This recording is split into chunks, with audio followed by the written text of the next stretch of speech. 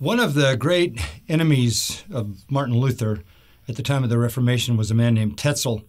Tetzel was an agent of the Roman Catholic Church, and the Roman Catholic Church needed money.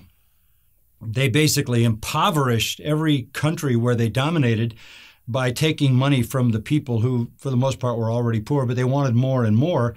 And so they came up with a system where they would sell indulgences. And what that simply meant was you could buy forgiveness for money, you could buy forgiveness. Uh, by the way, as a footnote, that still goes on today. I was I was in Italy not long ago, and uh, there were certain church doors during this period of time that if you went through, you received a measure of forgiveness. The Catholic Church had basically designated those doors as indulgence doors. Luther was infuriated, as were others, about the Catholic Church selling forgiveness. This is uh, an extreme corruption, and of course, the Reformation assaulted and attacked that.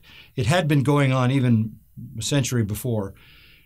But when we think about it today, the Roman Catholic Church isn't so bold as to sell indulgences the way they once did, but they still take money from people on the premise that they can buy their forgiveness by their giving to the church, by their good works.